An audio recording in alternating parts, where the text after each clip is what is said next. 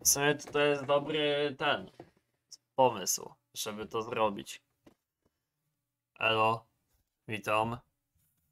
To będzie film, co się będzie wyświetlał, jak se będzie ktoś wchodził na kanał i tak dalej. Także jeżeli nie ten coś tam wbiłeś tu i widzisz ten film, no to no co? No, no to se się dowiesz, nie? Co jest na tym kanale i w ogóle. Yy, na tym kanale jest przede wszystkim Skins Monkey.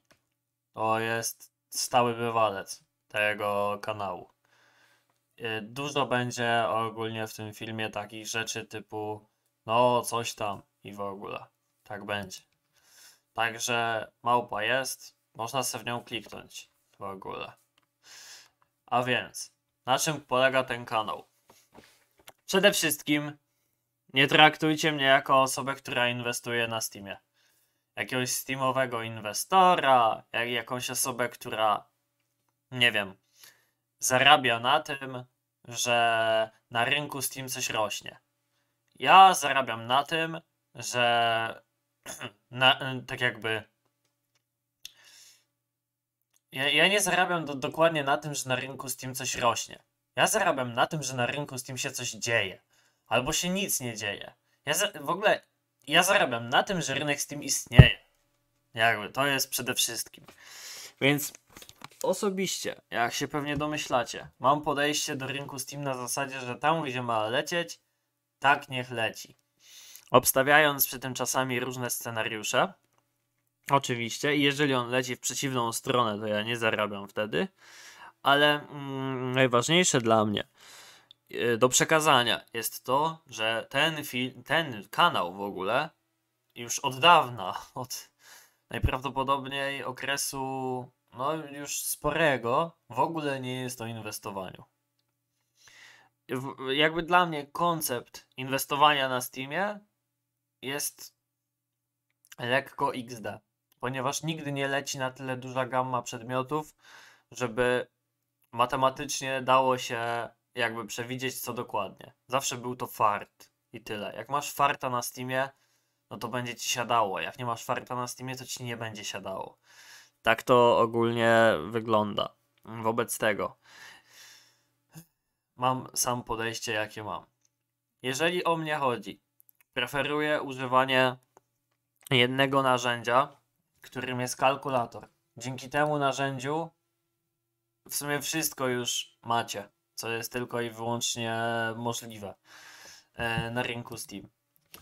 Jeżeli o mnie chodzi i o różnego typu strony, no to ja od nich nie uciekam. Nie, e, nie stronię od stron, że tak to powiem. E, ponieważ, i mówię nie o stronach hazardowych, których nie pokażę nigdy na tym kanale i tego nie zobaczycie na nim, tylko o stronach do handlu. Ponieważ one zawsze dają okazję. Zawsze są tam rzeczy powystawiane, zawsze można się czymś posugerować, zawsze można na coś odpowiedzieć, zawsze można do tego się dostosować i e, zachęcam, aby jak największą pulę takich stron znać i jak największą pulę z nich po prostu używać, no bo to zawsze daje mm, jakieś dodatkowe możliwości. Mm, jeżeli chodzi o cele tego kanału, dla mnie najwi- najważniejsze jest to, żeby przez ten kanał tworzyć grono ludzi, którzy są kurwa ogarnięci. To jest dla mnie najważniejsze, że jakby, żeby ten kanał po prostu odpowiadał ludziom, którzy są ogarnięci. Nie za bardzo mnie interesuje tłum ludzi, tak szczerze. Nie, nie jest to dla mnie najlepsze, co, co ten.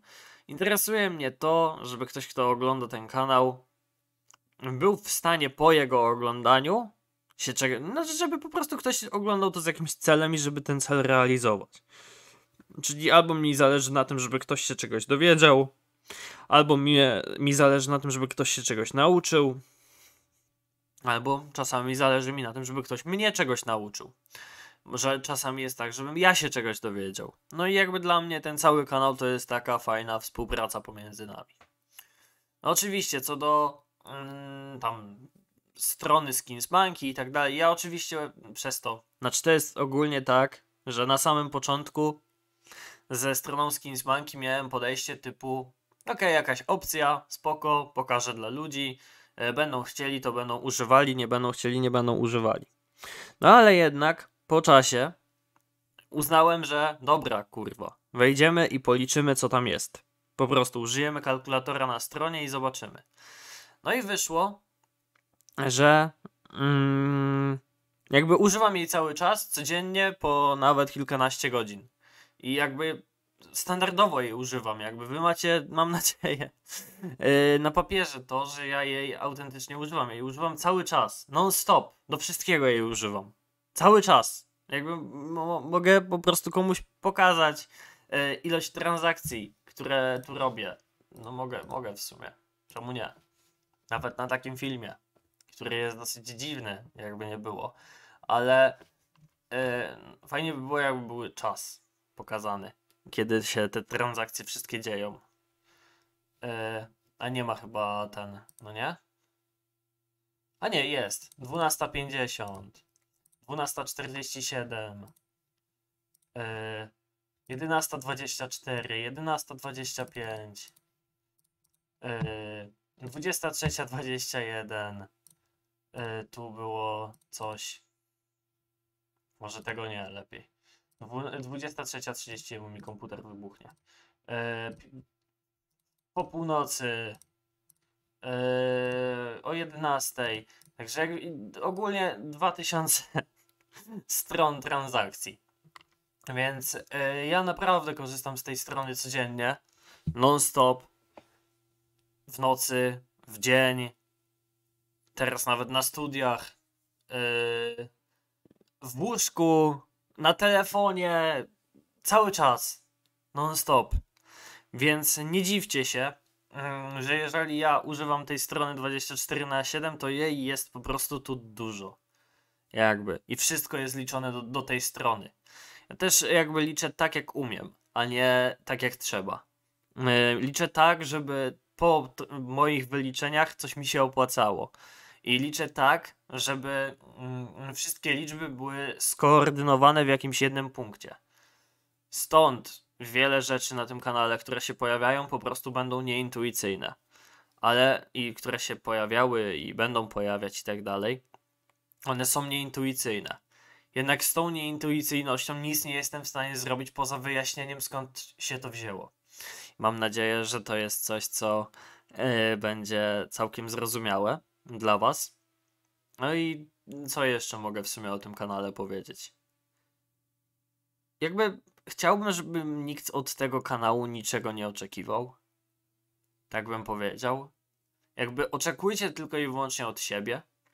Jeżeli chodzi o jakikolwiek trading, czy jakiekolwiek robienie czegokolwiek z pieniędzmi Jedyne chyba oczekiwania w ogóle, jakie możecie mieć, to oczekiwania od siebie.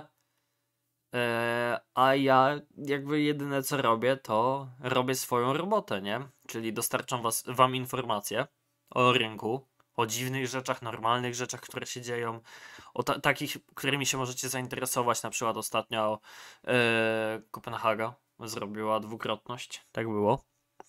I te tutaj staram się zawsze wszystko robić mm, na minuty ogólnie, żeby nie było. Więc też forma jest jaka jest, dlatego że informacje staram się, żeby były przekazywane jak najszybciej. Yy, I to jest yy, no coś takiego. Po prostu. A że rynek akurat nie może puścić fake newsa, bo nie można powiedzieć, że, że coś urosło, pokazać, że urosło, a tak naprawdę spadło. Więc tutaj akurat to mi pozwala na dosyć szybkie reagowanie na rynku. No i co? To chyba tyle. Pozdrawiam Was mocno i zapraszam. Ale zostaną i tak tylko wytrwali.